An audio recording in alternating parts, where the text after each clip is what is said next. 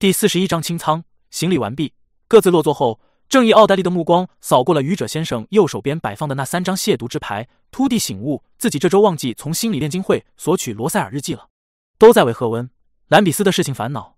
本来已初步调整好心态的奥黛丽，一下又沉郁了几分。这个时候，隐者加德利亚已对着斑驳长桌最上手，低头说道：“尊敬的愚者先生，这周还是没有收到罗塞尔日记。神秘女王连续两周没有提供大帝的日记了，这是出了什么事情吗？”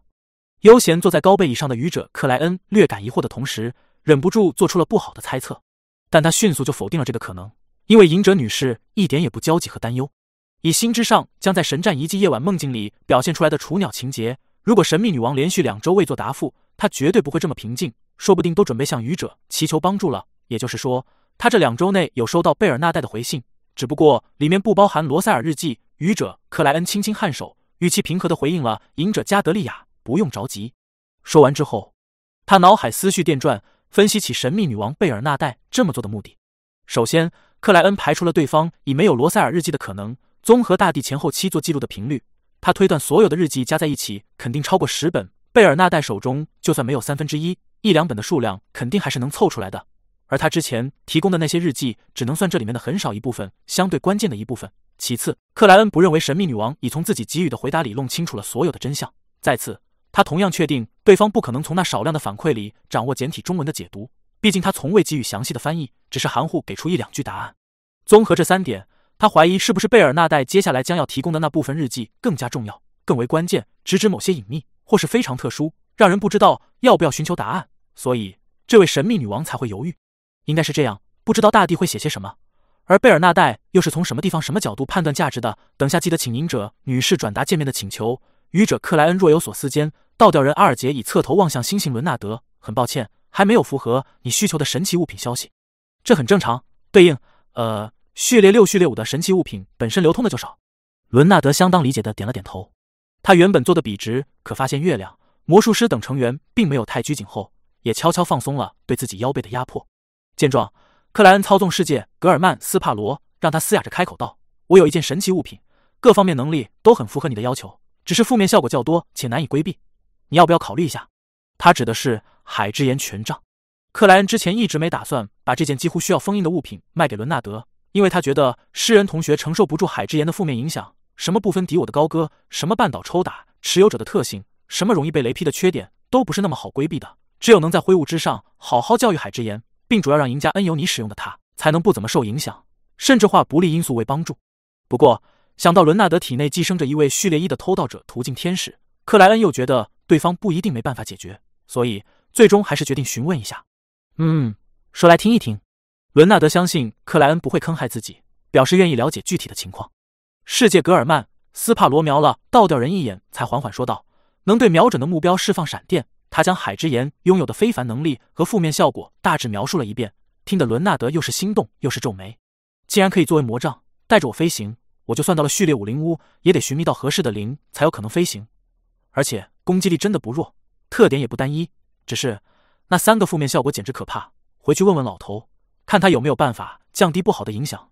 伦纳德沉吟了好几秒，道：“我想考虑一段时间，下周给你答复，怎么样？”“没问题。”世界格尔曼斯帕罗一点也不意外的回应道。至于其余成员，哪怕最开始有点心趣，听到海之岩的负面效果后，也都纷纷放弃了询价。这个时候。愚者克莱恩的思绪却转到了另一个方向，那就是要不要趁机做个清仓大甩卖。他晋升序列四，成为半神半人的存在后，原本的许多物品和特性都派不上用场了。蠕动的饥饿可以留着，就算为了旅行也得留着。另外，他还可以放牧一位序列四的圣者，有成长的潜力，而且本身多种非凡能力的搭配也相当不错。丧钟左轮的价值其实已经不是太高，但在开启了致命攻击模式后。对目标固定位置的打击还是强过空气炮的，至少序列四阶段还能用一用。嗯，它也有提升的空间。克莱恩脑海里最先浮现的是自己最常用的那两件物品，在他看来，只要能获得更强力的子弹，丧钟左轮完全可以打出可怕的效果。唯一的问题在于，那样的子弹就等于高级符咒，哪里是那么容易搜集到的？就算自己寻找材料制作，也得考虑向高位存在祈求是否能成功，会不会有反噬。这方面，克莱恩初步有几个方案。分别是向女神祈求，请水银之蛇威尔昂塞汀提供帮助；通过伦纳德找帕列斯索罗亚斯德，借用灰雾之上神秘空间的力量，以及让伦纳德找个任务回停根一趟，从变异的太阳圣辉，也就是三零七八二那里再窃取点永恒烈阳神血的力量。扬言子弹绝对是恶灵类生物的克星，怎么借用灰雾之上神秘空间力量的材料？我也有了初步的想法。阿蒙的食之虫可以做窃运者符咒，我的灵之虫应该也能用来做超凡子弹，但具体怎么操作，还得请教帕列斯·索罗亚斯德。克莱恩对接下来与伦纳德的对话又多了几分期待。灵之虫是他自己为那透明如虫命的名。紧接着。他考虑起别的物品和特性。太阳胸针，我目前欠缺这方面的能力和物品。虽然完全可以通过操纵灵体之线来对付恶灵，但也可以留一留，让纸人天使多一种变化。而且有的时候还得借给达尼兹雪之花戒指，这个卖不掉。塔罗聚会又没有极光会的成员，还是继续让密友使用吧。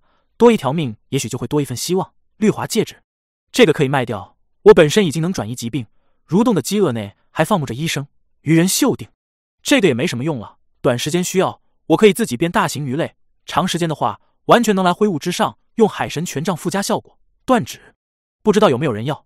而且那个老鼠半神为什么会被封印，还没调查清楚。这或许有用。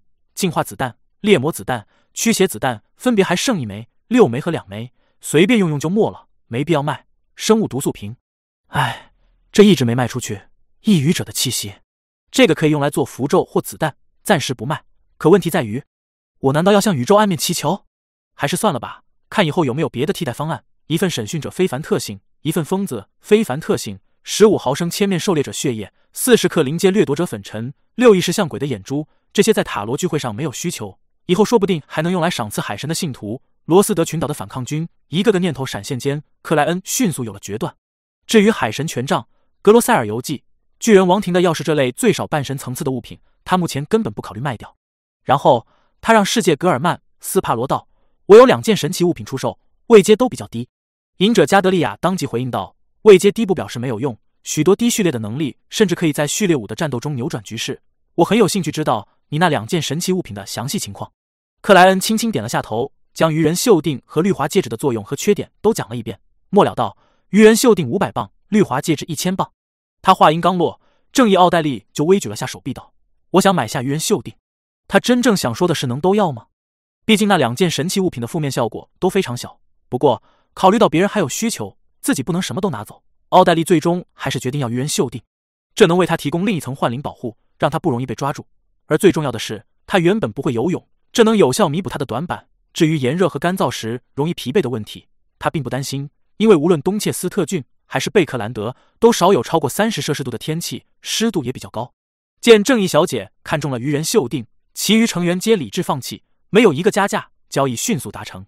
紧接着，倒吊人阿尔杰买下了绿华戒指。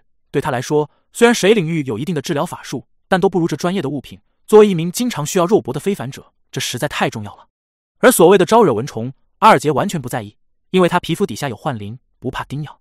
交易环节过后，月亮埃姆林清了清喉咙，抢先开口了。第四十二章共同行动。月亮埃姆林双手不自觉交握在了一起。下巴微抬，看着斜对面的魔术师小姐道：“我已经确认德莱尔森林废弃古堡的事情是血族内部对我的一个试探，隐瞒了非常关键的情况。”说完这句话，他就像卸掉了压在心里的一块石头，不再像前面几天那么犹豫、为难、不好意思。他顺势环顾了一圈，看了看隐者女士和倒吊人先生的反应，发现他们似乎早有预料，一点也不意外。看来上次魔术师小姐说情报有问题的时候，他们就已经有所猜测了。埃姆林暗自点头。抢在魔术师福尔斯回应前，又补充了两句：“非常抱歉，我会退还你三百磅情报费的，另外再补偿你三百磅。还有，我会对故意提供不完整情报的那个血族进行惩戒。”月亮先生虽然态度总是显得高傲，但面对错误时还是相当诚恳，没有找理由推卸责任。不过，我都拿到古老怨灵的诅咒物和残余灵性了，事情也已经过去，他又不是有意害我和修，没必要索求太高的赔偿。魔术师福尔斯牢记修的叮嘱，没有和他对视，自顾自开口道：“这只是一个失误。”不用补偿，退还情报费就足够了。他话音刚落，忽然想到了一件事情，那就是既然废弃古堡的情报源于血族的试探，那自己和修会不会已经被血族的成员盯上？福尔斯终于忍耐不住，侧头看了修一眼。只见这位审判小姐微微摇了摇头，示意他没发现自己两人有被谁监控。这，福尔斯一阵疑惑，难以理解。他随即发散开思绪，回忆当时的状态。我们隔了好一段时间才去探索，血族已经没有耐心等待了。小镇旅馆的老板知道那座废弃古堡，他是血族假扮的？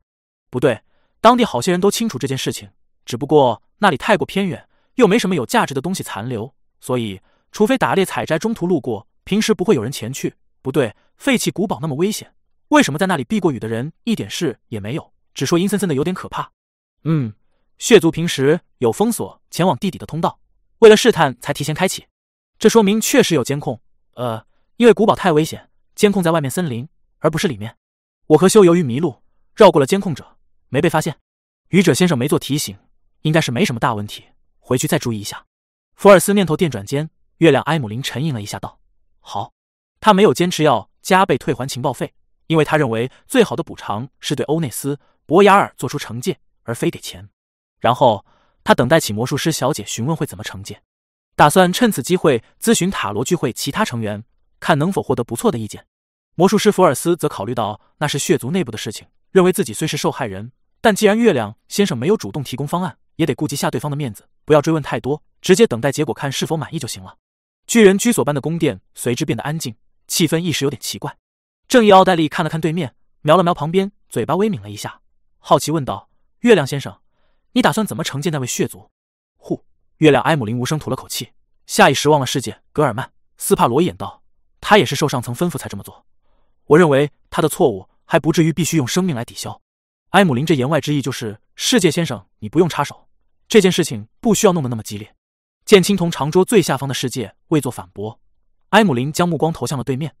我准备将那个血族引到大地母神教会，在贝克兰德的某个教堂内。参加了这么多次塔罗聚会，埃姆林就算再不屑于一些细节性的问题，也知道了要掩盖自己在现实世界的情况，所以他没具体提丰收教堂。大地母神教会在贝克兰德城内只有一座教堂，那就是丰收教堂，剩下的都位于郊区和周围乡村。猩猩伦纳德忍住笑意，抬头看了眼高高的穹顶。你想让大地母神教会的非凡者净化那个血族？魔术师福尔斯诧异脱口道：“在他看来，这和直接杀死对方没有任何区别。”啊！月亮埃姆林一时竟不知该怎么回答。就在这个时候，隐者加德利亚主动插言道：“大地母神教会有拉血族入教，让他们改变信仰，成为牧师主教的习惯。”这样，正义奥黛丽若有所思的瞄了对面的月亮先生一眼，没让对方察觉，让那个血族成为神职人员，每天去教堂祈祷。做义工，洗涤心灵，很长时间内无法摆脱。月亮先生的惩戒方案好恶毒啊！不过我喜欢。那家伙害得我和修差点被堕落力量污染，成为古老怨灵。魔术师福尔斯一下有了兴趣，开口问道：“月亮先生，你打算怎么把那个血族引到大地母神的教堂里？有成熟的方案吗？也许我可以提供帮助。嗯，你自己得小心一点，不能为了惩戒对方，让自己也进入大地母神的教堂。那样，那样你只能向愚者先生祈求帮助了。”当然，那或许就是愚者先生想要达到的目的，让大地母神教会内部多个自己人。福尔斯说完之后，在心里默默补了一句。听到他的话语，猩猩伦纳德差点笑出声音。他无比确定，月亮先生就是丰收教堂那个埃姆林·怀特。很显然，这位血族已经是大地母神的教士了。这和溺水的人将别人拖入水中有点相像啊！伦纳德克制住笑意，看了世界格尔曼斯帕罗一眼，发现这位前同事没有任何情绪的浮动，非常深沉。这让他忍不住想到，这是小丑的能力，还是克莱恩已经习惯这种状态？斑驳长桌最上手，愚者克莱恩险些伸手捂住嘴巴。他没想到埃姆林竟然这么有创意，这和传销有点一样，又有点不一样。毕竟埃姆林知道这不是什么好事。克莱恩后靠着椅背，饶有兴致的期待起接下来的发展。上次治疗时，正义小姐说的不要始终戴着厚厚的面具，他一直记得，并在有机会的时候尽量去做，以维持精神的健康。而听到魔术师小姐关心话语的月亮埃姆林，更多的是尴尬，因为他现在每天都要进几次大地母神的教堂，连想休个周末都会不自在。他又清了清喉咙道：“我暂时还没有拟定成熟的方案，想听一听你们的意见。嗯，我希望尽量不要有太激烈的战斗，这很难控制住局面。也希望不直接暴露身份。魔术师小姐，你想参与没有问题，但我们绝对不要碰面。所谓不直接暴露身份，就是说欧内斯·博雅尔和其余血族能够猜到是他做的这件事情没有关系。”这正是一种震慑，但最好不要拿到明确的证据。魔术师福尔斯嗯了一声，模仿着各种聚会里的经验丰富者道：“首先，你要告诉我们，那个血族大致相当于序列几，擅长什么？”月亮埃姆林早有准备的说道：“相当于序列五，战斗经验还算不错，擅长制造满月效果。满月效果。”魔术师福尔斯愣了一下，张了张嘴巴，却未能说出任何话语。等到月亮埃姆林介绍完，他才干笑了一声道：“我想起来了，我还有另外的事情，可能不太方便参与。处于类似满月的状态时，他会听见门先生的呓语，而这就意味着他会被目标血族瞬间重创，失去战斗能力。埃姆林微微皱起了眉头，对魔术师小姐前后态度的变化充满不解。这时，安静旁听的审判修主动开口道：“我可以参与，只要相应的战利品分我一份。”审判小姐的语气好坚定，就像她要复仇一样。月亮埃姆林暗自嘀咕了一句，又瞄了瞄隐者女士和倒吊人先生，发现这两位暂时都没有开口的意愿，似乎想看一看贝克兰德的塔罗会成员们能商量出什么样的一个方案。因为这涉及朋友的事情，又可能成为塔罗会成员共同参与的第一个任务。正义奥黛丽颇有兴趣，在观察了一阵后，于此时斟酌着说道：“我也许可以催眠那位血族，让他自己去大地母神的教堂。不过，要想不暴露自己，并且成功率较高，我催眠那位血族时，他最好处于失神或半昏迷状态。”月亮先生，你能办到吗？月亮埃姆林正要结合自己的能力和物品思索有什么办法，旁边的星星伦纳德突然笑了一声：“这个简单，但我只负责让那个血族昏迷。当然，前提是必须有足够准确的情报，主要是行动轨迹上的。”他话音刚落，审判修点了点头，道：“我擅长跟踪和调查情报的事情，可以交给我。嗯，首先，月亮先生，你要告诉我那个血族的姓名、地址和样貌。”好，月亮埃姆林先是松了口气。旋即有点迷茫的说道：“那整件事情里，我需要做的是什么？还有，你们想要什么报酬？”第四十三章导师阿尔杰听到月亮的问题，塔罗会其余成员才发现，经过一番讨论后，这次惩戒的主导者反而没什么事情做了。按照刚才的规划，他只用提供相应的姓名、地址和样貌，就可以耐心等待结果。审判小姐负责跟踪和调查，摸清楚目标的行动规律；正义小姐和星星先生根据反馈，挑选出一个对双方都合适的地点，然后。由星星先生在不引人注意的情况下，让那个血族昏迷。正义小姐随之抓住机会完成催眠，让目标自行前往预定地点。这整个过程就没有月亮什么事。嗯，正义奥黛丽斟酌了下道：“月亮先生，你需要做的是保证被催眠的那位血族前往教堂的途中不遭遇意外，不出现挣扎，不被谁救走。”说到这里，奥黛丽忽然发现之前的计划有个问题，连忙补充道：“如果那位血族对大地母神教会非常抗拒，催眠的效果会比较差。”所以，我打算在催眠里尽量规避这一点，灌输给他抓住某个憎恨对象的念头，让他在追逐的过程中不知不觉就进入预定的教堂。嗯，由你来担任这个被憎恶的对象怎么样？这需要你有足够的自保能力，可以维持距离，不被追上。没问题。月亮埃姆林略作沉吟，就答应了下来。在奥尔莫公爵已经清除吊序列五人造吸血鬼非凡特性内精神污染的情况下，埃姆林只需要等待一次满月，就能成为子爵和欧内斯。博雅尔站在一个水平线上，而下周就有这样的机会。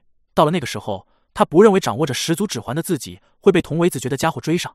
实在不行，还能再向魔术师小姐租赁那本魔法书。我记得上面有风领域的能力。埃姆林对此相当有信心。他旁边的星星伦纳德听完他和正义小姐的对话后，莫名对催眠产生了些恐惧。于他而言，正面战斗再怎么可怕，都比不上自己做出违背自己想法的事情还不自知恐怖。他缓了一下。回应起月亮埃姆林之前提出的第二个问题，我的报酬和审判小姐一样，拿一部分战利品。对伦纳德来说，整件事情就是在预定的位置、预定的地点，将预定的目标强制拉入梦境，其后就可以离开，不用关心是否会成功，是否有意外。简单的就和去咖啡店馆点一杯迪西咖啡一样，唯一需要在意的是不能暴露自己。所以他不太好意思提前要报酬，打算从最后的战利品里分润。另外，他认为这是自己融入塔罗聚会的必经之路，不需要太计较。正义奥黛丽侧头瞄了眼审判修，收回目光，微露笑容道：“我和星星先生、审判小姐的要求一样，嗯，战利品各取四分之一。”他其实并没有一定要拿报酬的想法，因为他觉得那个血族欺负了塔罗会的成员，欺负了自己的两个朋友，惩戒对方是自己应该做的事情。他之所以索取战利品，是照顾月亮先生的心情，害怕自己义务帮忙会让这骨子里骄傲的血族尴尬羞愤。而且，月亮先生现在也没什么钱，只能将报酬引导向战利品。奥黛丽默默在心里又补了一句：“虽然他没有刻意的计算过，但依据观众对细节的把握和记忆能力，他相信花费五千镑购买序列五人造吸血鬼非凡特性后，月亮先生的财政情况已经不是太乐观。而这次还把赚的情报费退了出来。四个参与者每人拿一份战利品，这很公平。”月亮埃姆林点了下头，环顾了一圈，道：“还有什么意见吗？”魔术师福尔斯略有些不敢相信的开口道：“就这么简单？那可是一位相当于序列五的血族啊！”我听你们的计划好像很简单就能成功，在他心里，序列五在野生非凡者圈子里绝对能称得上厉害，有的甚至是聚会的主导者。那些强大的海盗将军也不过这个序列。可是，星星他们刚才的讨论里，这样一个序列五却轻轻松松就能解决，似乎没有一点难度。听到他的问题，星星伦纳德想了想道：“只要那个血族没有克制我能力的物品，哪怕他相当于序列五，我也肯定能让他昏迷一段时间。就看正义小姐能不能把握这个时机了。如果安排好了地点，预先做好了准备，我没有问题。”正义奥黛丽做出确定的回答。他心里其实有点忐忑，毕竟从未参与过真正的战斗。但他对自身非凡能力和神秘学心理学领域知识的把握，让他有自信说出这样的话语。魔术师福尔斯听完两人的回应，忽的有些恍惚，不知不觉，除了世界先生，塔罗会其余成员也有解决序列五的能力了。也是，正义小姐早就是序列六的催眠师，有同层次非凡者配合的情况下，确实有较大把握催眠一位序列五。就在月亮埃姆林感觉事情已经敲定，无需再问时，刚才一直旁观的倒吊人阿尔杰开口了。作为隐秘组织的成员。我认为任何事情都要往深一层去想。啊！月亮埃姆林和星星伦纳德略感茫然的将目光投向了倒吊人先生。正义奥黛丽和审判修仙师一怔，旋即隐约把握到了点什么。倒吊人阿尔杰清了清喉咙，看了身旁的太阳戴里克一眼，道：“既然德莱尔森林废弃古堡是试探，那摆在明面的血族为什么不能也是试探？就是这个道理。我就知道倒吊人先生会主动提醒。愚者克莱恩操纵世界，格尔曼斯帕罗点了点头。隐者。加德利亚看向倒吊人的目光，则多了几分赞许与认同。这月亮埃姆林眸光微缩，竟无法反驳。这个瞬间，他感觉自己还是太大意了。星星伦纳德怔了怔，一下觉得自己还是太散漫了，对整件事情还没有足够的了解就参与其中，不考虑是否有隐患。当然，这种风格与他官方非凡者的身份和思维模式也有一定关系。还是倒吊人先生考虑的严密细致。奥黛丽，你还需要累积经验呀。正义奥黛丽念头一转，主动问道：“所以要暂时放弃惩戒，等血族无法维持暗中的观察后再行动？”倒吊人阿尔杰低笑了一声道：“不需要放弃，多几个误导的行为就可以了。”他随即看向月亮埃姆林道：“第一，你将调查那个血族的任务直接发布给贝克兰德的赏金猎人们，以他们的存在掩盖审判小姐的行动。第二，确定动手地点时尽量靠近正神的教堂，这能有效干扰事后的占卜。第三，正义小姐他们对付那个血族前。”你要做出足够引人怀疑却不太显眼的行为，似乎要于另外一个地方做出报复，以此将暗中监控的目光吸引过去，创造需要的机会。这和第一点是结合在一起的。第四，等那个血族被成功催眠后，你再过去引导。说到这里，阿尔杰顿了顿，道：“如果还能有半神层次的反占卜、反预言，那整件事情就没纰漏了。当然，正义小姐、星星先生，你们行动时一定要做伪装，不要留下痕迹。”这些话说的，在场绝大部分成员一愣一愣，尤其太阳戴里克。更是难掩内心的尊敬和佩服。虽然他没法参与这次惩戒行动，但作为塔罗会的一员，对这种脉络清晰的事情，还是忍不住会关心、会思考。刚才一点也没觉得月亮先生他们的计划有什么问题，所以此时才由衷的感觉倒吊人先生在类似方面实在实在太厉害了。月亮埃姆林思索了下，道：“你的意思是用我表面上的惩戒掩盖正义小姐、星星先生他们暗中的行动？就像是，就像是我表现的要在目标离开咖啡馆后，于广场某个角落行动。”将目光全部吸引过去，而实际上，正义小姐他们在咖啡馆内就已经无人察觉的完成了催眠。倒吊人阿尔杰轻轻颔首道：“就是这样，又学到了。倒吊人先生真是一个经验丰富的非凡者。”正义奥黛丽完全明悟，内心一阵雀跃。现在的问题是，哪里去找半神层次的反占卜、反预言物品或符咒？星星伦纳德也是感觉受益不浅，遂主动询问道：“他对自身倒是不太担心。”毕竟体内藏着一个天使老爷爷，魔术师福尔斯呃了一声道：“我可以将莱曼诺的旅行笔记借出，上面有天使之拥，我我也拿一份战利品吧。”说话的同时，他偷瞄了世界格尔曼斯帕罗一眼，见这位先生没什么表示，才松了口气。他不知道的是，愚者克莱恩此时的想法非常简单：天使之拥，这比纸人天使好听多了。惩戒行动至此终于敲定。正义奥黛丽没有犹豫，环顾了一圈，道：“我上周见了心理炼金会评议团的委员赫温。”兰比斯，什么？赫温，兰比斯是心理炼金会评议团委员。星星伦纳德相当诧异的坐直了身体，有种立刻向大主教汇报、召集队伍过去抓捕的冲动。这是职业病。第四十四章，内心的恐惧几乎是本能。伦纳德环顾了一圈，发现塔罗会其余成员没有一个惊讶错愕，皆在仔细倾听。他们早就知道了。也对，我才第二次参加这个聚会，很多事情尚未接触到。这里牵涉的秘密真不少啊。伦纳德收回视线，恢复了刚才的坐姿。正义奥黛丽略有停顿后，瞄了隔着两个人的审判修一眼，接着将目光投向了倒吊人先生那边，继续说道：“他试图对我做心理暗示，让我在平时多接触不同的贵族，了解他们在不同事情上的真实态度，然后转达给他。幸运的是，愚者先生让一位天使提供了祝福，我实际上并没有受到影响。嗯，接下来我该怎么做？还能有天使提供祝福？”伦纳德又一次愕然四顾，结果依旧没看见别的聚会成员出现太过明显的情绪反应。当然，他对愚者先生神座之下有天使存在这件事情一点也不奇怪。毕竟，死亡执政官这个称号和相应的名字，他已经听了不知多少次。他只是单纯诧异于塔罗会的成员们似乎能经常祈求到这种层次的帮助，对这个隐秘的组织又高看了不少。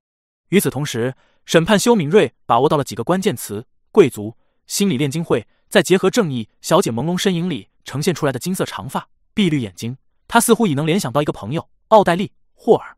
不过，他无法确定，因为在鲁恩贵族阶层，金发、黑发、绿眼。蓝眼都属于比较常见的类型，只是各自搭配不同，而且没谁清楚心理炼金会究竟在这个圈子里发展了多少成员，所以仅凭刚才总结出来的那些特点，修认为不能直接指向奥黛丽小姐。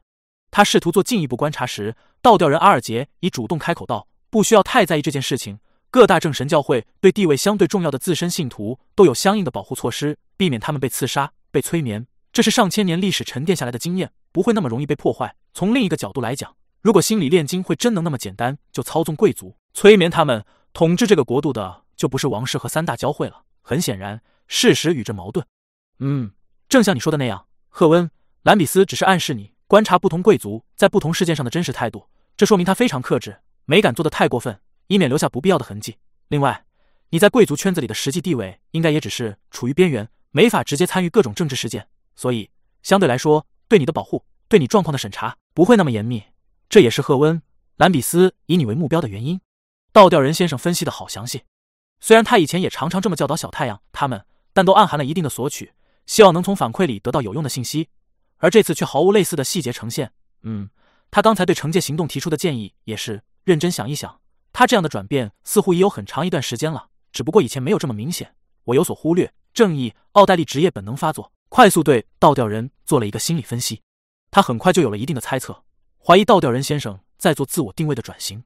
自从隐者女士加入塔罗会，展现出了海上的渠道和资源，倒吊人先生就不自觉在寻求改变，试图与对方的作用区分开来。工匠尚未出问题前，这种变化还不明显，甚至倒吊人先生自己也没有清醒的认知和意识。直到最近，他似乎终于想清楚、想明白了。确实，要想维持在塔罗会里的定位，实力的提升是一方面，对整体能提供哪些帮助又是另一方面。正义奥黛丽思绪电转间，将注意力收束回了刚才的话题。他沉吟了一下，语气下意识变得凝重。这是否也同样表明，正神教会对地位重要的贵族有做一定的监控、掌握和引导？这是他之前在鲁恩慈善助学基金办公室内想到的。他无意识画出的那个图景，就体现了这方面的担忧。在心理学里，类似状态下描绘出的元素，往往不会指向具体而特定的事物，更多是一种抽象的表达。而冷酷的眼睛，很多时候体现的是对外在力量注视、监控。控制自己和家人的恐惧，结合无意识绘画前对赫温兰比斯心理暗示的担忧，对父母参加黑夜教会大弥撒时主持者是贝克兰德大主教的回忆，奥黛丽做出的解读是自己不仅害怕着心理炼金会的催眠和暗示，还因此恐惧启正神教会。无法确定他们不会直接利用非凡能力对地位重要的贵族信徒灌输想法，引导他们做出违背真实理念的行为。这对从小接受正统教育的奥黛丽来说是一种亵渎和叛逆，所以她当时精神一紧。连忙将承载着图画的那张纸烧掉。听完正义小姐的问题，倒吊人阿尔杰嗤笑了一声：“这不是很正常的事情吗？活在人类社会里，就必须接受一定的监控、掌握和引导。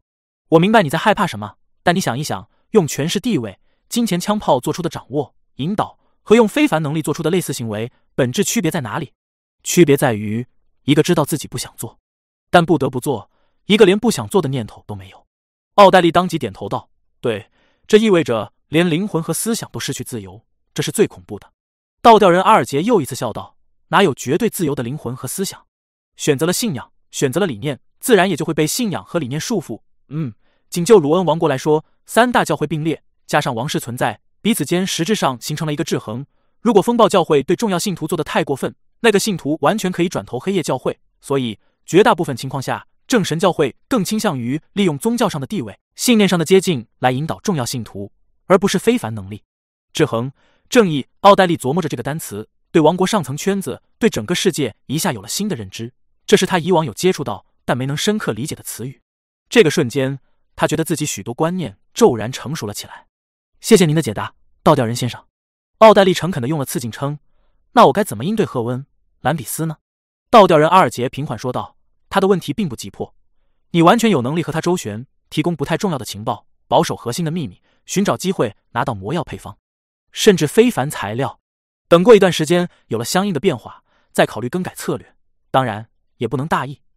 尼根公爵就是错误的例子。”他话音刚落，坐在斑驳长桌最下方的世界格尔曼斯帕罗就看着正义小姐，嘶哑笑道：“到了那个时候，就算赫温·兰比斯死了，也不会有人怀疑你。”就算赫温·兰比斯死了，死了，这可是一位半神啊！世界先生有向赫温·兰比斯动手的想法？嗯，有可能。他一直在追查卡隆自杀案，就连赫温·兰比斯的真实身份都是他告诉我的。正义奥黛丽听的眼睛略微睁大，心中一片波澜。他之前最厌恶、最害怕赫温·兰比斯的时候，也从未想过要杀掉这位心理炼金会评议团委员，只考虑该怎么规避引导。这一方面是因为他根本没那种思维。另一方面，则由于那是一位半神半人的存在，这可是王国和教会顶层的力量。我明白该怎么做了，谢谢你们。奥黛丽随即小口吸气，礼貌道谢。克莱恩现在的口气不小啊，呃，他都想清除阿蒙在贝克兰德的分身了。一个赫温·兰比斯确实也没什么。星星伦纳德感觉颇为复杂的看了世界格尔曼斯帕罗一眼，隐者加德利亚等人则各自默然。结束了心理炼金会的话题后，克莱恩操纵世界格尔曼斯帕罗。让他主动望向青铜长桌最上手，尊敬的愚者先生，我有事情想和星星先生单独交流。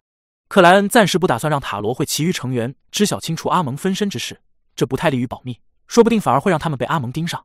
可以，愚者克莱恩对于自己的请求自然不会否定。星星伦纳德一边感慨于还有单独交流这种操作，一边捡重点将老头帕列斯索罗亚斯德的回复告诉了克莱恩，包括十之虫非凡特性流逝的问题。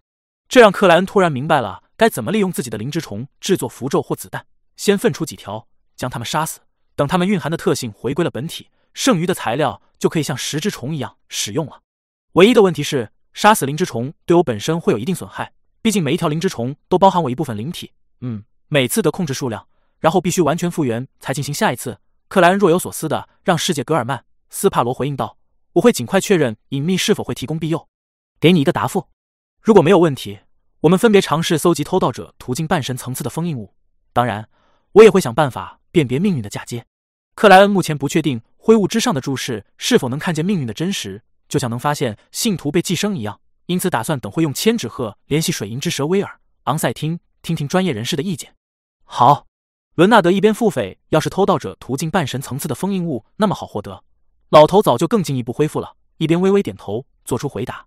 第四十五章没有回应的仪式。结束掉单独的交流，克莱恩转而让世界格尔曼斯帕罗望向隐者加德利亚，请你转告神秘女王，我希望最近能和她见上一面，交流一些事情，具体的时间和地点由她确定。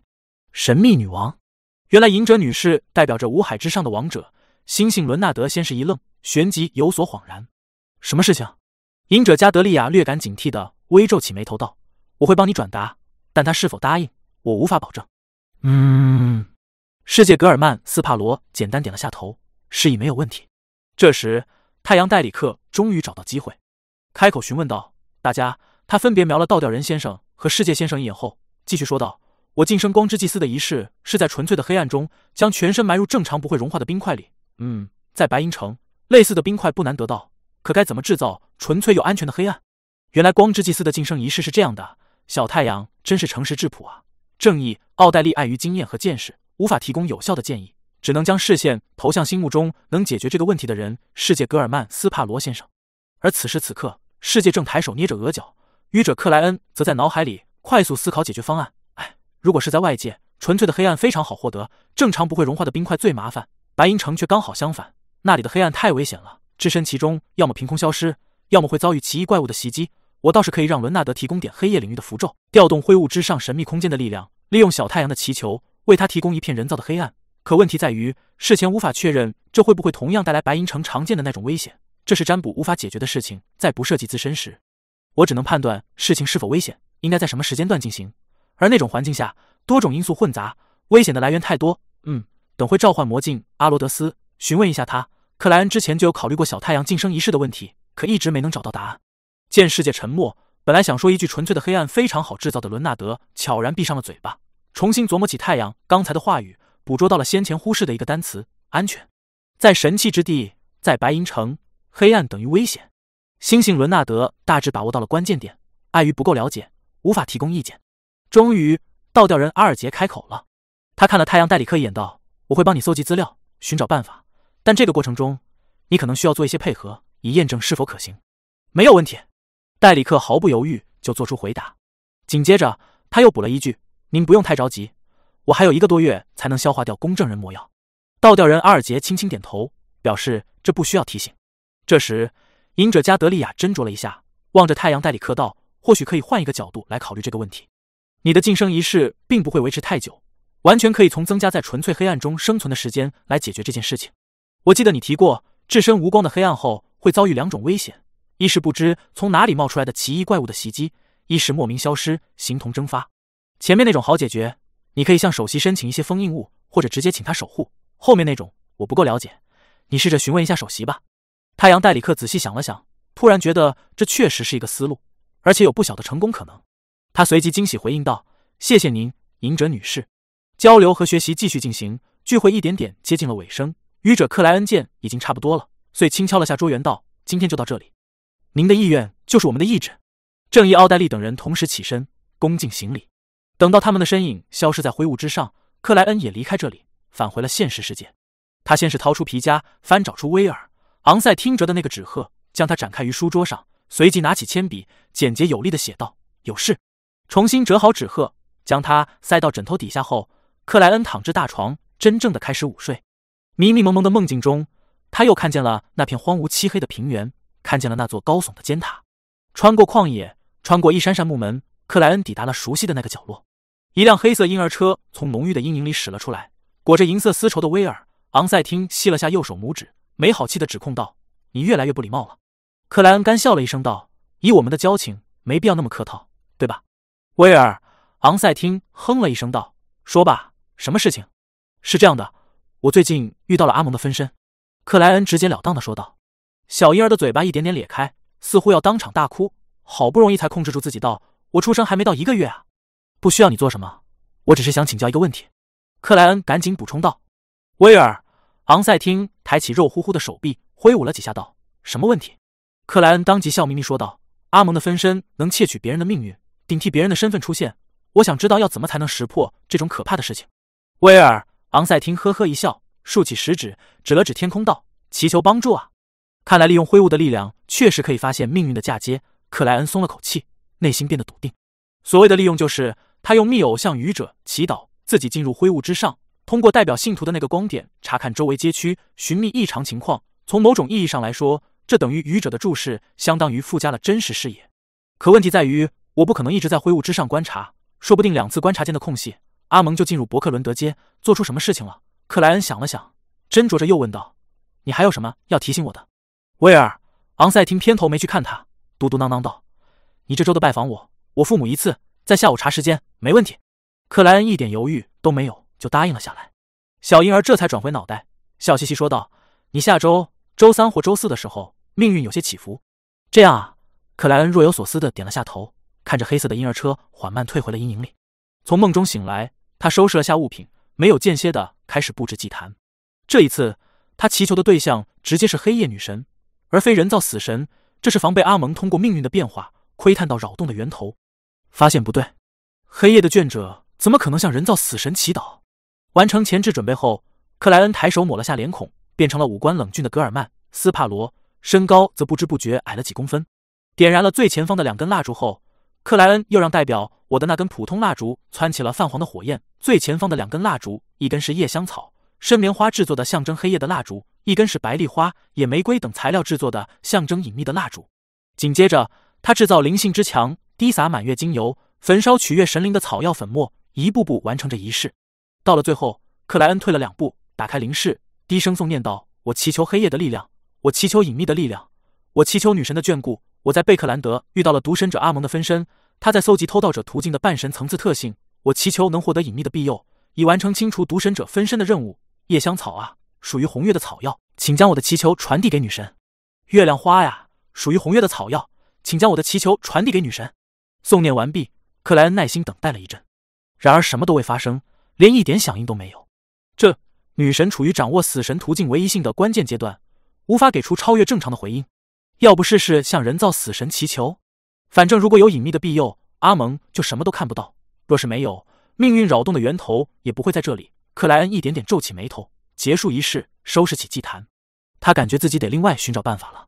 等他处理好书桌那片区域的事情，转过身体，预备走向安乐椅位置时，一道人影突然跃入了他的眼帘。那人影套着有缝补痕迹的简朴亚麻长袍，腰间系着一根树皮绞成般的腰带，乌黑的长发肆意的披落往下，双脚围着鞋袜，布满尘埃和伤痕。这是一位女士，她五官极为普通，黝黑的眼眸和正常人没什么区别。可是仅仅看到她。克莱恩的内心就变得极为安宁平和，哪怕陡然升起的惊愕戒备情绪也无法撼动这点。第四十六章，阿罗德斯的恭贺。你是？克莱恩在一种相当复杂的平静状态里问道。那身穿简陋长袍的女士轻轻颔首道：“阿里安娜，隐秘之仆，隐秘之仆，阿里安娜。”克莱恩眸光微凝，已是知晓眼前女士的身份。作为一名职业者出身的非凡者，阿里安娜这个名字他怎么可能陌生？黑夜修道院院长，十三位大主教之首。将来可能的教宗冕下，这无论哪一个身份，都是宗教学和神秘学里绕不开的常识。而隐秘之仆这个名称，克莱恩在罗塞尔大帝的日记里读到过，结合诡秘侍者等相近意思的名称，怀疑这指向天使位阶。同时，依据非凡特性守恒定律，从有序列零存在的情况下，阿里安娜不可能是序列一天使这点出发，克莱恩认为隐秘之仆大概率是黑夜途径的序列二。这女神不是没做回应，而是回应的方式很特殊，直接将自己的仆人派过来了。克莱恩心情复杂。难以描述。他沉默了几秒后，庄重行了一礼：“下午好，阿里安娜殿下。”在各大教会里，如果有天使未阶的半神行走于地上，当面称呼时要加上“殿下”这个后缀，以示尊敬。同样的，对教皇、教宗、牧首等神灵意志的代表要加冕下。另外，对于一教首脑，还可以用宗座、圣座来代称。当然，很多时候圣座也可以指代教廷所在。阿里安娜在胸口顺时针点了四下，姿态虔诚的回应道。愿女神庇佑你。他随即又说道：“我是一名苦修士，你可以直接称呼我女士。”是，阿里安娜女士。克莱恩一点也没有坚持。阿里安娜平和的看了他两秒，直接问道：“你要对付独身者阿蒙在贝克兰德的分身？”“是的，我希望获得隐秘的庇佑。”克莱恩坦然回答道。这个时候，他心里突然泛起了点为难的情绪，因为这和他预期的不太一样。他原本的想法是，女神反馈祝福，提供庇佑，然后自己和伦纳德体内的帕列斯。索罗亚斯德联手清除阿蒙在贝克兰德的所有分身，这个过程中并不会暴露伦纳德和那位偷盗者途径天使的问题。可现在庇佑变成了实体，会参与战斗。帕列斯、索罗亚斯德一旦出手，必然被发现，到时候结局难以预料。难道不用联合帕列斯、索罗亚斯德了，让他只是做个情报提供者，分润部分战利品？克莱恩念头飞转间，阿里安娜语速不快不慢的说道：“我能提供隐秘的力量，让发生的一切都不会被窥见，但是。”我不能保证可以清除掉阿蒙在贝克兰德的所有分身。帕列斯·索罗亚斯德说他可以办到这件事情。最了解阿蒙的，果然还是同一途径的序列一。克莱恩想了想道：“阿里安娜女士，我已有成熟完备的计划，您只需要提供隐秘的力量，不用参与实际的战斗，其余的事情我会处理。”阿里安娜点了点头，抬起右臂，摊开了手掌，一点点光芒随之亮起，深沉而璀璨，快速在那掌心勾勒出了一枚勋章。这勋章通体晶莹剔透，仿佛由黑色的宝石铸成。给人一种看它时，它确实存在于那里；不看它时，它就会消失不见的感觉。这是属于我的黑夜文章，它本身并不具备特性和力量，唯一的作用就是一旦激发，会与我产生联系，无论你身在现实世界的哪个地方。阿里安娜简单描述道：“当你开始行动前，记得使用它，我将为你提供隐秘的力量。如果你需要更直接的帮助，在激发的同时，用古赫密斯语念出阿里安娜这个名字，这就等于一个固化的指向本身的祭坛和仪式。”嗯。到了天使位阶，可以响应祈求的范围扩大到了整个世界。克莱恩瞬间就把握到了那枚黑夜文章的本质。作为一名鬼法师，他目前还无法响应祈求，这是到了序列三才会拥有的特质。当然，作为海神，作为愚者，他在这方面足够熟练。克莱恩没有推辞，接过了那枚黑夜文章，诚恳行礼道：“感谢您的赐予。”说完，他在胸口顺时针点了四下，画出绯红之月，赞美女神。这样一来，他依旧可以和帕列斯。索罗亚斯德联手，只要在激发黑夜文章时不用古赫密斯语念出阿里安娜这个名字就没有问题。赞美女神。阿里安娜虔诚回应，她的身影随之消失，就像被橡皮擦擦掉了一样。这是通过转化成隐秘状态离开。克莱恩有所猜测的抿了下嘴唇，同时他对阿里安娜能来得如此快充满疑惑。毕竟黑夜途径不是擅长传送的类型，从岭东郡教廷所在赶到贝克兰德肯定要花费不长，但也绝对不短的时间。我的仪式又不是祈求直接降临的那种，难道阿里安娜女士正好在周围区域，在贝克兰德大区？这会不会太巧了？如果不是巧合，那问题更加严重了。他来贝克兰德区域做什么？暗流汹涌啊！克莱恩收回视线，耐心等待了一阵，然后才变回道恩唐泰斯。他再次翻找出纸笔，于上面画了一个隐秘与窥视柔和的符号。那符号最后一笔刚刚落下，主卧室内的全身镜就发出了偏暗却纯净的光芒。仿佛湖泊底部静静奔涌的暗流，紧接着一排排礼炮呈现于内，向着高空连发礼花，金色、银色、红色、蓝色纷纷炸开，于镜中组成了一个又一个单词：“欢迎归来，我伟大的主人！您忠诚的仆人阿罗德斯，见证您又拿回了一部分权柄，为您逐渐恢复的气息感到战栗。您终将归于那至高的位置，让整个世界在您的注视下变得平静。这可真够热烈的，每次都有新花样。”克莱恩轻轻颔首，没有开口。礼花盛放中，那些单词崩散又重组，形成了新的句子。伟大的主人，你有什么吩咐？我有个问题。克莱恩平缓说道：“在一个置身于黑暗中会遭遇危险的地方，该怎么制造安全而纯粹的黑暗？那危险大概有两种：一是会让人直接在黑暗里蒸发消失；一是会被奇怪冒出的怪物袭击。”全身镜表面，礼花平息，水光波荡，银色的单词一个个浮现了出来。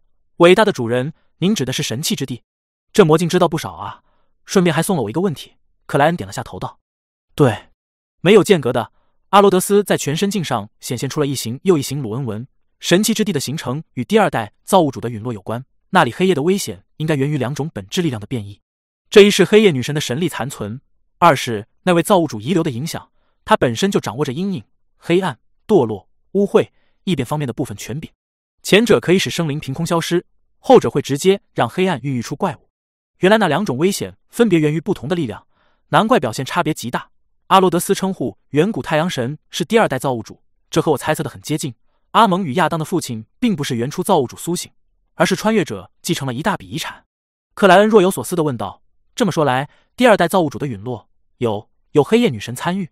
这是克莱恩隐约有些预料的，因为神器之地的黑暗里，人类会蒸发般消失，这点与神战遗迹夜晚不睡觉必将奇异失踪的情况非常相像。而据小太阳讲述，原本执掌黑夜和隐秘权柄的魔狼之王弗雷格拉，早在第二纪元就已经陨落，不可能是他做的。所以，除非这中间还诞生过另一位黑夜途径的神灵，否则那两种奇异都很难不与黑夜女神产生关联。镜子表面荧光很快收敛，凝成了一个单词：对，对。克莱恩正在追问，忽然又闭上了嘴巴，因为他记起了自己的身份——黑夜的眷者，所以即使无人注视的情况下，也得注意对神灵的尊敬。不能去探求相关的秘密，当然，在灰雾之上那片神秘空间是除外。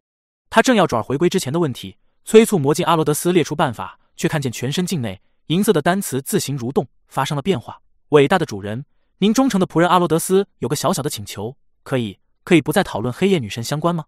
这个问题的最后出现了一个缩成一团的人物简笔画，正合我意。克莱恩刻意沉吟了两秒，道：“好。”镜子表面银色痕迹的流淌陡然变得轻快。单词一个接一个成型。您之前的问题有两个办法，第一个是主动接受污染，让自己转化为黑暗里的怪物。这些生物之所以在黑夜里不凭空消失，就是因为受到了堕落权柄的保护。这样一来，所有的黑暗都将是纯粹而安全的。第二个是制造附带临时梦境世界的黑暗，让灵体受到梦境的保护，这能有效延缓危险黑夜的侵蚀。第四十七章，另外一个可能让灵体受到梦境的保护，延缓危险黑夜的侵蚀，这就和神战遗迹里夜晚降临时必须睡觉一样。还有。神奇之地的力量应该是不受女神控制的，一旦消失在那里的黑暗中，肯定不会进入迷雾小镇。这会指向哪里？还是说留在原地，却再也无法和同伴和现实世界接触，直至饿死或老死？看完魔镜阿罗德斯的回答，克莱恩有所明悟，大致把握到了重点。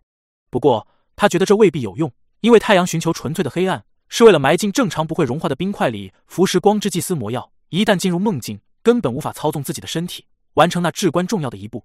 那样一来。就算在无光的黑暗中坚持的再久，也没有任何意义。嗯，等小太阳询问过白银城那位首席，结合他的回答，再考虑具体的方案。当然，在此之前，先从伦纳德那里弄到相应的办法，明白该怎么制造有临时梦境世界的黑暗。克莱恩幅度很小地点了下头，认可了魔镜给予的答复。至于第一种主动接受污染、转化为黑暗中怪物的办法，他根本不做考虑。在超凡世界，这等于自杀，几乎不可能挽救回来。想到还有一个问题没用，克莱恩斟酌了下，道：“我可以从哪里获得占卜家途径序列三分古代学者的魔药配方？”全身镜的表面水光又一次浮动，映照出了一座没有自然光源的幽深殿堂。这幕场景，克莱恩很是眼熟，瞬间就回想起了它代表什么。这是变成怪物的查拉图藏身的地方。然而这一次，殿堂深处不再有那模糊而巨大的蠕虫事物。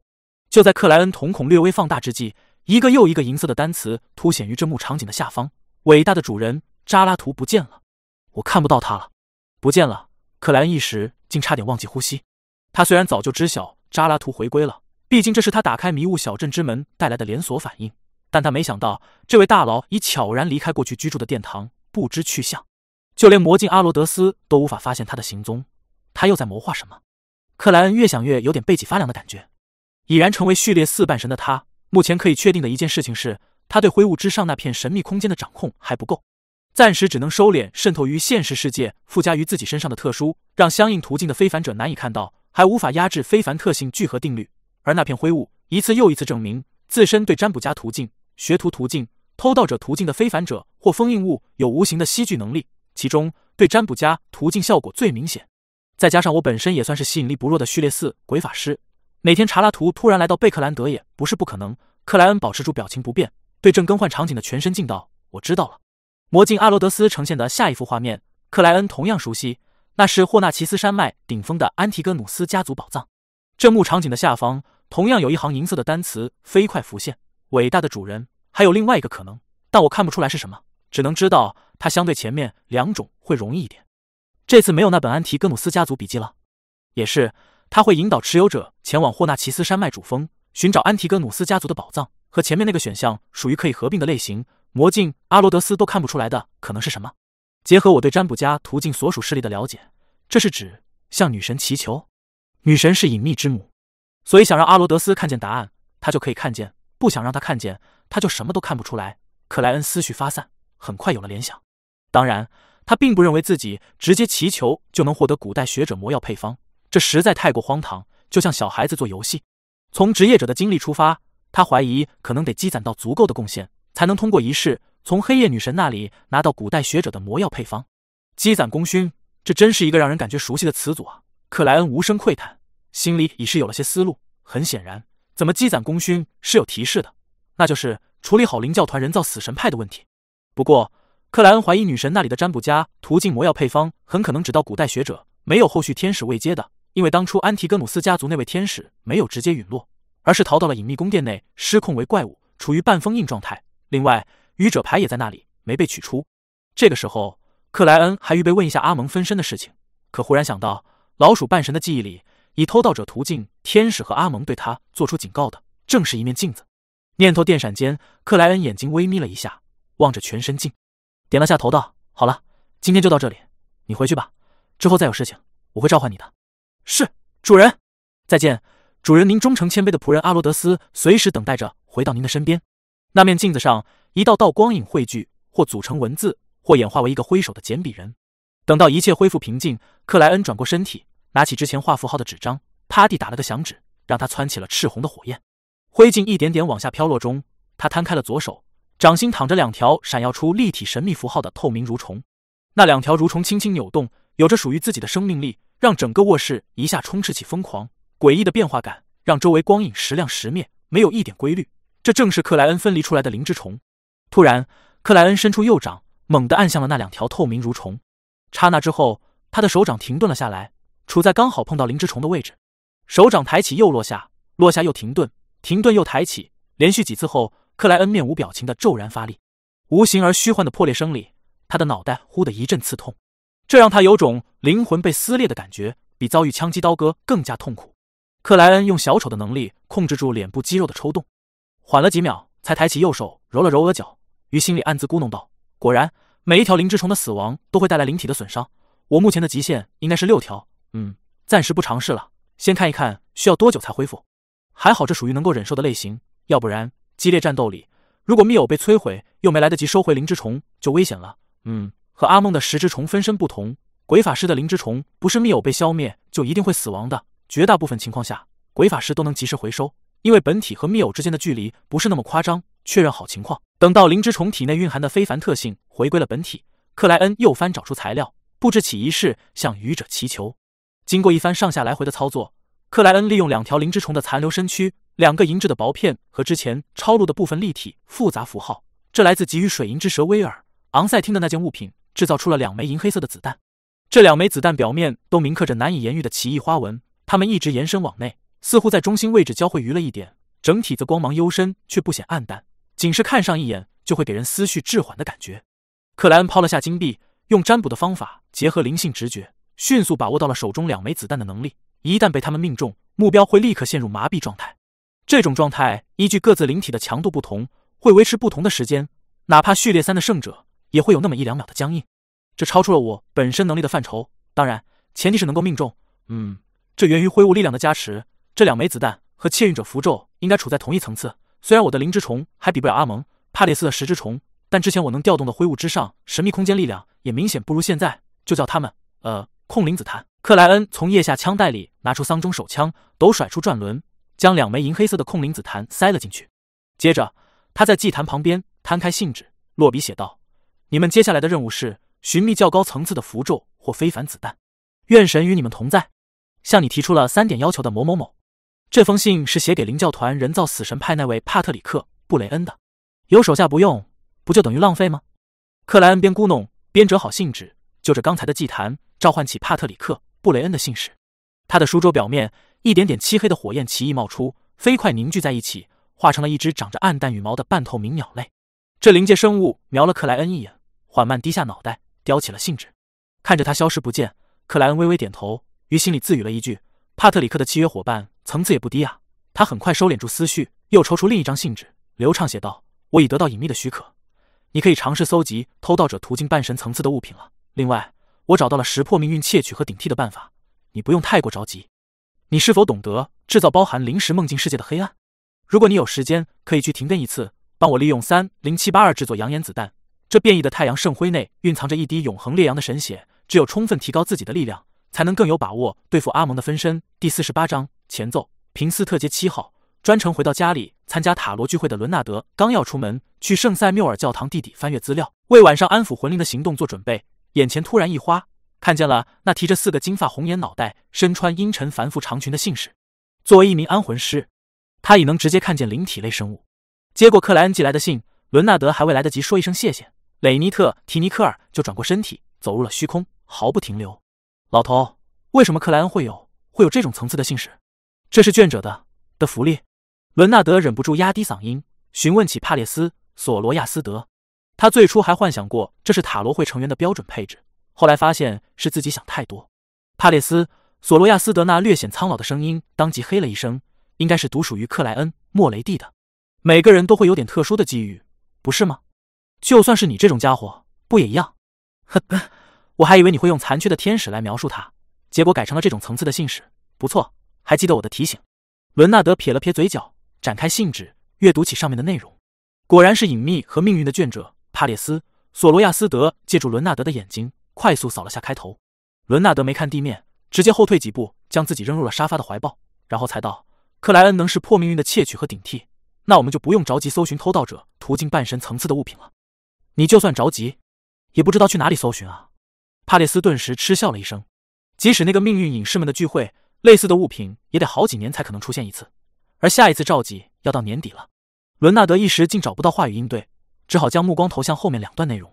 短暂的沉默后，他低笑了一声：“我一直都在奇怪，面对梅高奥斯的时候，克莱恩哪里来的太阳领域高级符咒？之前还以为是那位死亡执政官给的，但又不太理解一个死亡领域的天使搜集太阳领域的高级符咒做什么？自杀吗？现在总算明白了。老头，我也不是没持有过三零七八啊。”为什么你就没发现里面隐藏着一滴永恒烈阳的神血？如果你能提前窃取点力量出来，当初就不会不会。伦纳德本来是要以此事嘲笑老头，可说着说着却沉默了下来。帕列斯·索罗亚斯德在他脑海内叹息了一声，道：“如果那滴神血随便就能发现，那枚变异的太阳徽章就不会再停更了。”伦纳德默然几秒，转而问道：“那我该怎么找机会拿到那枚圣徽，制作扬言符咒？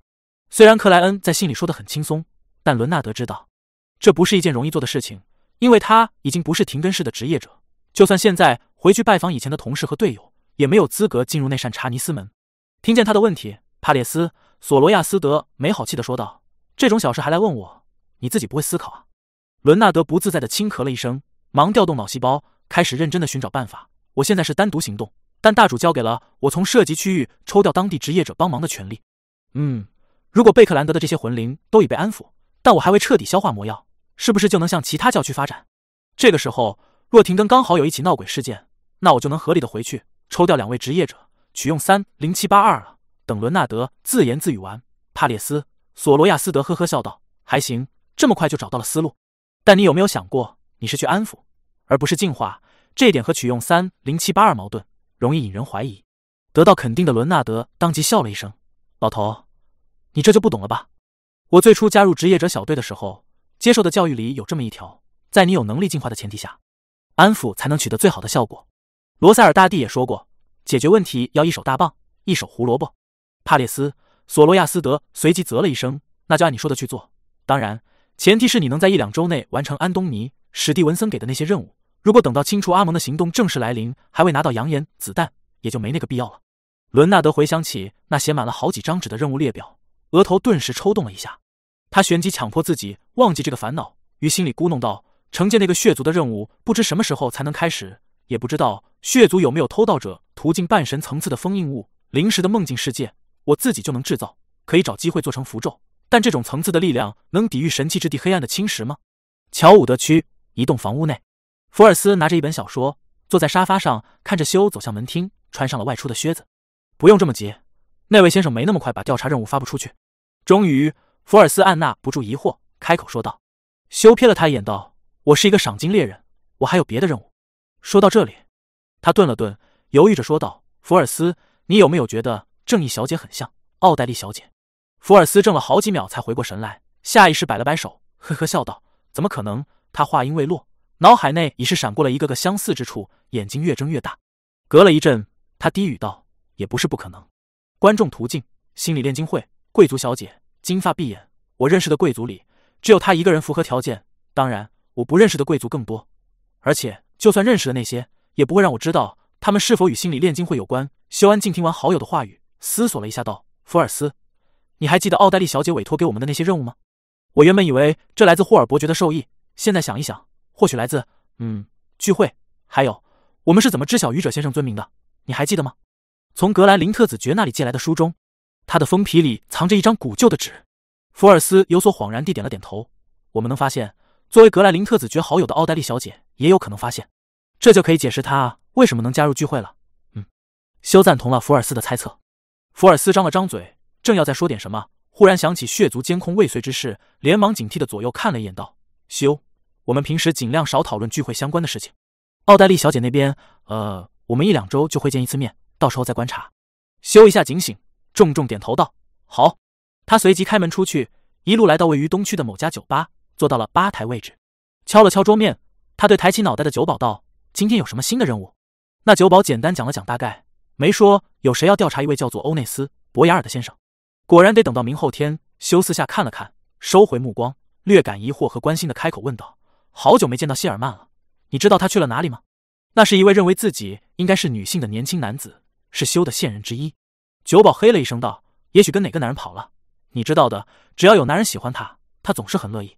这并不是值得歧视的事情。”修认真反驳了一句，莫名有点担忧。他将手一撑，跳下了高脚凳，准备去谢尔曼经常活动的其他地方找一找。贝克兰德桥区域，铁门街勇敢者酒吧。埃姆林按低礼帽，捏住鼻子，穿过各种气味混杂的人群，在一间纸牌室内找到了红眼睛的伊恩。怀特先生，这次有什么事情？伊恩笑着将埃姆林引到了没人的桌球室。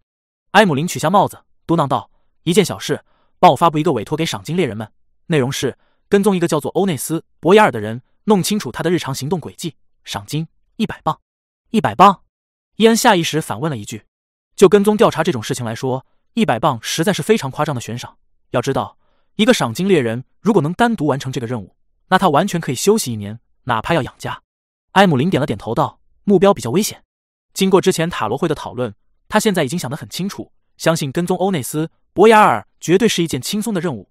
那位血族子爵肯定会装作没有发现，并故意给出固定的行动轨迹。所以，这一百磅其实是给审判小姐冒着暴露风险加入共同行动的报酬。当然，为了误导和遮掩，到时候肯定会是多个赏金猎人各自完成了一部分，分别得到不同金额的报酬。埃姆林只能保证审判小姐拿到的是最多的那份。这样啊，伊恩理解的伸手道：“预付金、具体地址、危险程度、相貌特点，如果有画像更好。”埃姆林随即给了三十磅现金和有欧内斯·博雅尔肖像画的资料。红眼睛，伊恩翻了翻手中的纸张，脱口出道：“是的。”埃姆林轻轻颔首，左右看了一眼，压低嗓音道：“还有件事情，帮我搜集在贝克兰德的玫瑰学派成员的线索。”玫瑰学派，伊恩怔了一下，迷惑反问，似乎从未听说过这个名称。第四十九章连体人。埃姆林瞥了伊恩一眼，抬手捏了下鼻尖，呵呵笑道：“看来你听不懂，好吧。更简单的描述是，帮我搜集从南大陆，尤其是从星星高原、帕斯河谷来的外乡人的情报。具体是哪方面的情报？在贝克兰德的纯种南大陆人可不少，有相应血统的更是经常能见到。”伊恩没因受到鄙视而愤怒，冷静地提出了自己的问题。埃姆林笑了一声道：“比较反常的那种，行事鬼祟、神神秘秘的那种。你应该明白我在说什么。”符合你描述的高原人和河谷人肯定也不少，他们在贝克兰德不是做仆佣、工人，就是当小偷，参加黑帮，而后面那些都满足行为反常、鬼祟神秘的条件。伊恩诚恳地指出了埃姆林要求的不切实际，埃姆林对此却早有准备，带着不明显的笑容，幅度很小地点了下头，道：“这样，符合条件的情报都给我，我自己做筛选。嗯，这个委托先支付你五十磅，作为前期调查的基本费用，后续按照搜集到的情报里。”具体有多少条具备价值来计算，每一条多付二十磅。有没有价值，谁说了算？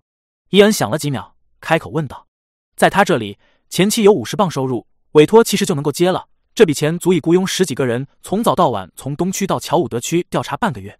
他并不在意自己能从这五十磅里赚到多少，因为不少人依附他生存，必须时不时给他们安排一些有报酬的事情做，要不然他根本做不到消息灵通。”埃姆林打量了伊恩两眼，呵了一声道：“当然是我。”你应该很清楚我的信誉，莫里亚蒂大侦探可没有告诉过我这一点。伊恩嘀咕了一句，叹了口气道：“好吧，上次合作还算愉快，我选择相信你。”埃姆林满意点头，拿出钱夹，又数了总面额达到五十磅的钞票。这个过程中，想到自己的积蓄只剩下四百零七磅，埃姆林一时竟有点舍不得。现在是三百五十七磅了，他收回看着一张张钞票的视线，将手中的现金递给了伊恩。他没再停留，戴上礼帽，走出桌球室。离开了勇敢者酒吧，到了街上，埃姆林松开捏住鼻子的手指，抬头看了看火烧一般的云朵，表情逐渐沉凝，无声自语道：“这次那个怨魂不在，去了哪里？”哼，伊恩表现的像是从来没听过玫瑰学派，但他心跳的加快出卖了他。还有，他这次竟然没有问夏洛克·莫里亚蒂是否已回到贝克兰德，一点也不担心。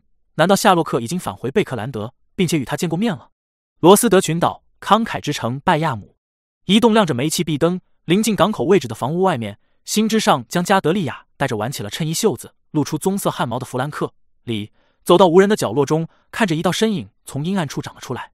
这是负责监控工匠夏尔夫的无血者西斯道尔。他身材瘦高，皮肤苍白到有点透明，一副风吹来就会倒下的虚弱模样。这段时间有异常情况吗？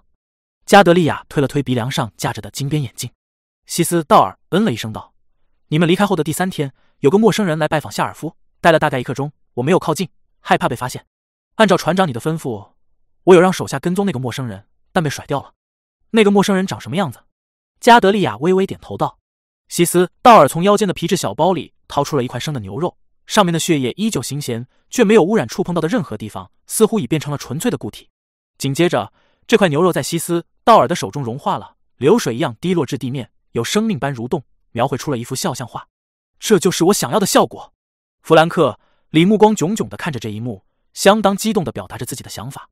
西斯道尔在他的注视下颇有点躲闪之意，边身体略微倾斜，边指着地面道：“大概长这个样子。”此时，一幅血色画卷已然成型，主体是一个留着两撇胡须、五官特色接近帕斯和古人众的男子。他最大的特征是两边耳朵上各镶嵌了三根耳钉，黄金制成的耳钉，身材精瘦，没什么脂肪，但很健康。西斯道尔补充说道。加德利亚随即收回望向地面的视线，道：“然后呢？”西斯道尔又嗯了一声，之后再没有人来拜访夏尔夫，除了他雇佣的临时仆佣和厨师。我安排手下调查过了，他们都没有问题。夏尔夫每天会固定在傍晚散步，找一个站街女郎回家，直到天亮才让对方离开。我一直在跟踪他，没发现他途中有接触奇怪的人。他这段时间一直表现得很正常。加德利亚眉头微皱的问道：“在他看来，没有异常就是最大的异常，毕竟这涉及信仰原始月亮的玫瑰学派成员。”西斯道尔肯定的点了点头：“是的。”加德利亚侧头望了眼那栋房屋的正门，沉吟了片刻，才道：“我原本打算利用非凡能力潜入，以最快的速度控制住夏尔夫，将他带走，避免意外。可现在看来，最好的办法是直接敲门拜访。未知的危险最让人恐惧。船长，我和你一起。”弗兰克里想到自己最近忙于实验，已很久没做过大副该做的事情，连忙开口请求道。加德利亚边取下那厚重的眼镜，将它挂至黑色巫师袍的腰带上，边点了下头道：“好。”说完。他离开阴暗的角落，走向了工匠夏尔夫住所的正门。临近后，他抬头望了眼高空穿透云层的红月，屈起手指轻敲了三下房门。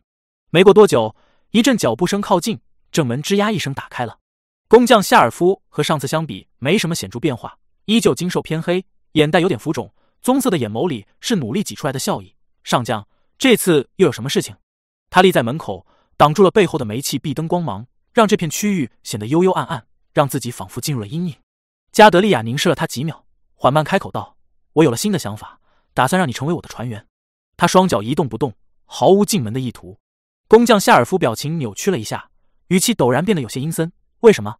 加德利亚的眸光突然略有凝固，接着缓慢开口道：“因为我是一个海盗，海盗不需要理由，想做就做，全凭自身乐意。”夏尔夫脸庞肌肉抽动了一下，眼眸里重新流露出些许笑意。“我可以成为您的水手，不过……”作为一名工匠，还是在大城市更能发挥我的作用。我赞同你的说法。加德利亚瓦解着对方的抵抗意志，但在此之前，你需要到我的未来号上待一段时间，和其他人成为同伴。夏尔夫的神情缓慢变得阴冷，嗓音略有点飘渺的回应道：“我害怕控制不住自己，我每天都有强烈的繁殖欲望，强烈的繁殖欲望。”弗兰克里在旁边听得眼睛一亮，确认般反问了一句。夏尔夫怔了怔，竟不知该点头还是摇头。弗兰克随即看向心之上将加德利亚，略显兴奋地问道：“船长，这就是给我的实验助手？我太喜欢他这个特点了。”加德利亚沉默了好几秒钟，缓慢而凝重的颔首道：“是的。”弗兰克立刻就露出了爽朗的笑容，向工匠夏尔夫伸出了右手：“很高兴认识你，自我介绍一下，未来号的大副弗兰克里。”夏尔夫的表情恢复了正常，疑惑的和对方握了握手，然后才道：“真的只在未来号上待一段时间？我以我的名誉做保证。”加德利亚诚恳回应，并在心里默默补了一句：“用不了多久，女王就会亲自来处理你的问题，好吧？反正我也打不过你。”夏尔夫耸了耸肩膀：“请允许我收拾下个人物品。”他随即后退两步，转过了身体，走向大厅尽头的楼梯口。走着走着，他忽然停顿，背对加德利亚和弗兰克里，轻飘飘、慢悠悠地说了一句：“今晚的月光一如既往的美丽，不是吗？”没去等待回应，他继续前行，消失在了楼梯口。直到此时。加德利亚脸上的凝重才逐渐明显。夏尔夫开门之后，他已经用自己的眼睛看出了对方的异常。如果说过去的夏尔夫灵体是一个正常的人类，那现在就是一个连体人。这连体人在月光的照耀下正飞快滋长壮大。这不是我能够解决的问题，得写信告诉女王。还有，不能忘记格尔曼·斯帕罗的见面请求。加德利亚无声叹息，下意识扬起了脸庞。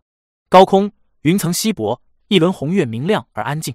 贝克兰德希尔斯顿区。东拜朗退伍军官俱乐部，道恩、唐泰斯和马赫特议员分别走下马车，一起进入了门厅。第五十章牌局。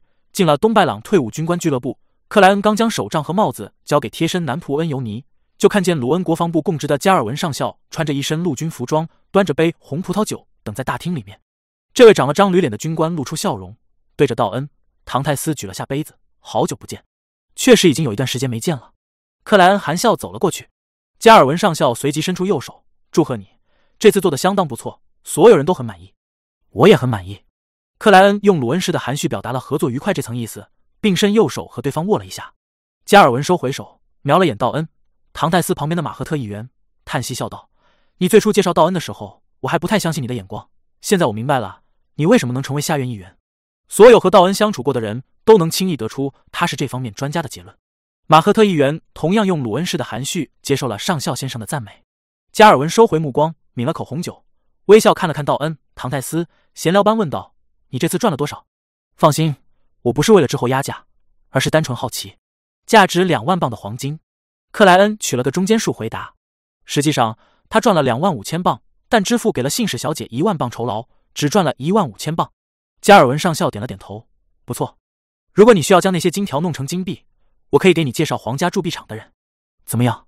这次在梅桑耶斯的领地有发现什么不寻常的事情吗？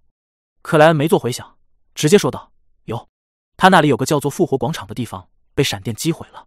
这个我知道。”加尔文上校表情略显凝重的回应：“那你大概不知道，就是你面前这位制造的闪电。”克莱恩笑了一声，转而说道：“还有，梅桑耶斯看似在多个势力之间维系着脆弱的平衡，但他实际上已经暗中投靠了某一方。当然，我并不清楚是谁。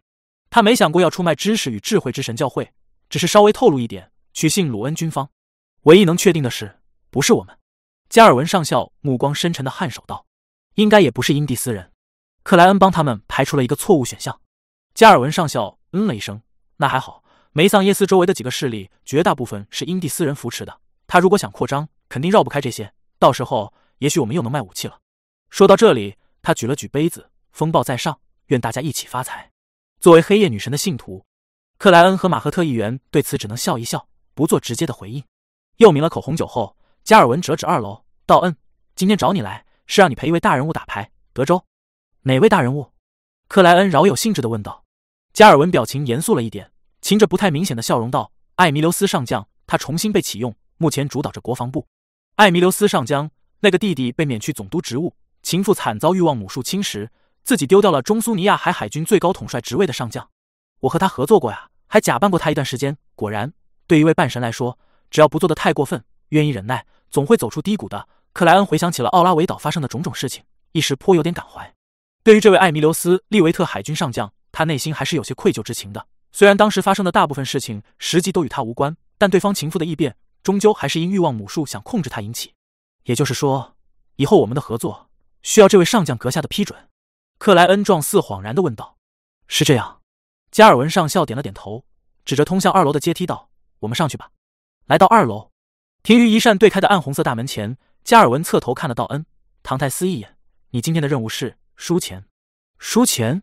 克莱恩上下打量了加尔文几眼，嘴角一点点上翘道：“我会努力的。”旁边的马赫特议员随之笑道：“其实你不用太刻意，艾米留斯上将牌技很好，你就算想赢钱，也几乎没有可能。哼，我每次都输，哎，只希望今天不要输太多，要不然我都不敢回家了。”克莱恩若有所思地点了点头：“我只带了二百磅现金，这会不会不够？”“肯定不够。”加尔文上校呵呵笑道：“已经给你兑换了一千磅的筹码，之后过来记得还上就行。”卢恩的高级大律师们，明面上一年也才一千磅上下的收入啊！你们这群腐败分子！克莱恩又上下打量了加尔文几眼。这位上校先生毫无所觉，抬手轻敲起房门。等待了一阵，对开的房门吱呀一声后退，显露出了里面的场景。那是一个铺着厚软地毯的大厅，没有太多的家具，看起来颇为空旷。大厅的中央摆着一张可供十几个人玩的牌桌，周围是风格奢华的一张张高背椅。大厅的边缘。则有镶嵌黄金的家具、大理石雕成的塑像，摆放着书籍、报纸的茶几、皮质的一组沙发。克莱恩一眼望去，就看见了坐在最上首的艾米留斯·利维特。这位海军上将与之前相比没太大变化，黑发整齐后梳，蓝眸幽暗深沉，嘴角略微下垂，脸上没留胡须，气质古板严肃，穿着有肩章的深蓝衣物，每一处细节都不马虎，极为认真。目光一转，克莱恩又发现了另一位熟人，他有着浓密但不杂乱的黑色眉毛，留着短而硬的同色寸发。眼眸深蓝近黑，鼻梁高挺如同山峰，嘴巴周围延伸出了大片胡须，轮廓深刻，脸型较长，线条冷酷，极有硬汉味道。这是军情九处的副处长丘纳斯·科尔格，这是克莱恩回到贝克兰德的目标之一，是魔女教派和王室某派系贩卖人口的中间人，是贝克兰德大雾霾的帮凶。这位少将副处长肩膀异常宽厚，将白色的衬衣和黑色的马甲撑得异常紧绷，正专心致志地玩着德州扑克。一张牌桌上有两位。不三位半神，这牌还怎么打？有意思。克莱恩找了张位置坐下，观察起牌桌上其他人。这个过程中，侍者送来了大叠筹码，总计价值一千磅。最初几局，克莱恩看了下牌就直接扔掉，表现得很是谨慎，似乎不拿到好的手牌绝不加注或者跟注。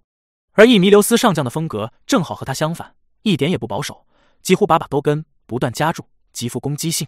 凡是有他参与的牌局，很少能到摊牌阶段，绝大部分人都无法承受那种压迫以及上将自带的威严，跟了一圈或者两圈后就纷纷弃牌。其中有人试图抓艾米留斯·利维特的诈唬，结果遇上了这位上将的四条九，脸色顿时苍白，就像被法官宣判了死刑。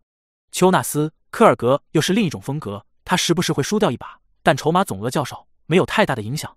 而等到输掉后的下一把，他往往会成功清空上次赢他那位的筹码，让对方不得不花钱再买入新的筹码。何必呢？和中低序列的非凡者甚至普通人打牌，为什么要用能力作弊？别人看不出来，我还不清楚。一个是仲裁人途径的气势威压，一个是腐化男爵的贿赂。克莱恩看了下只有红桃五和梅花九的底牌，微不可见的摇了摇头。他忍不住认真的思考了一下，如果自己想作弊，占卜家途径有哪些能力可以提供帮助？把牌局对手全部变成密偶，这样想赢多少就能赢多少，立于不败之地。可没有实用价值，又不是筹划死亡扑克大赛。可惜这里没什么蚊子，要不然我可以控制他们的灵体之线，让他们密偶化，帮我去看别人的底牌。无面人只能变自己，不能变牌。魔术师的幻术和普通人中低序列非凡者打牌效果应该不错，但这里有两位半神用小丑的手腕能力换牌，没用。发牌。洗牌都是侍者做的思绪电闪间，克莱恩发现似乎只有占卜家本身的能力有用。他丢出两张底牌，示意不跟，然后拿起一枚金属制成的筹码，让他在指缝间来回翻转。这个时候，艾米留斯·利维特突然抬头看了他一眼，接着收回目光，推出了一堆筹码。果然，克莱恩毫不意外的在心里点了下头。上次合作时，他就知道艾米留斯上将能从所处位置的不同分辨普通人和非凡者。并怀疑对方甚至可以判断一个非凡者的层次，也就是位置。不过，克莱恩对此并不是太担心，因为鬼法师有一定的隐秘能力，这也是他到了序列四后能收敛灰雾加持于自己身上的那种特殊的原因之一。这让他确信对方发现不了自己的位阶，但没提前做相应干扰的他，怀疑艾米留斯能看出自己是一个非凡者，所以他干脆主动展现出了一点问题，显得很容易就被看穿，很容易就被掌握。